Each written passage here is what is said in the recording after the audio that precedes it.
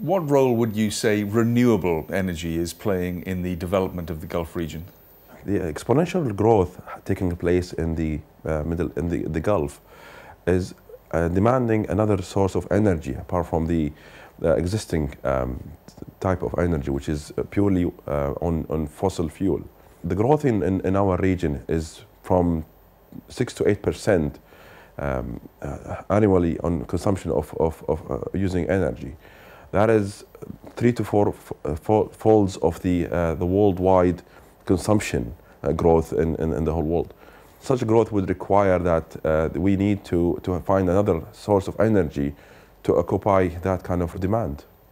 Of course, think of the Gulf when you think of oil as the main energy source. So, realistically, how significant a part could renewable play in the energy mix?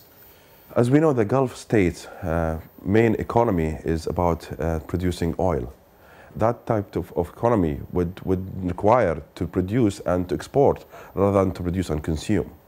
Uh, so having to, including the alternative energy would help to export more and consume less, and hence a better economy for the region. Let's go back to the origins of Life Energy. What inspired you to set up the company?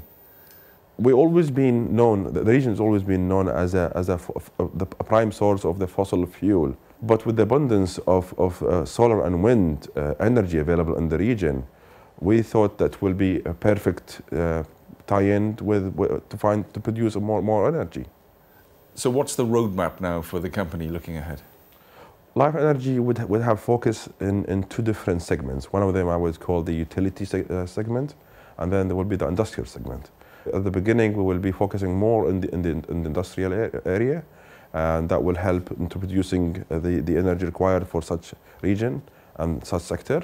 And then we will be doing after that the energy for the other part, for the utility sector.